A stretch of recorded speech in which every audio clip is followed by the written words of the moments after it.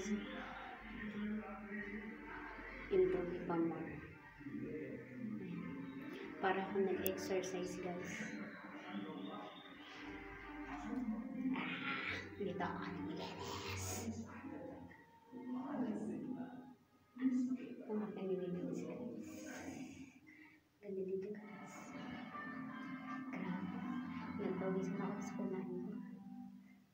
Awis na, guys.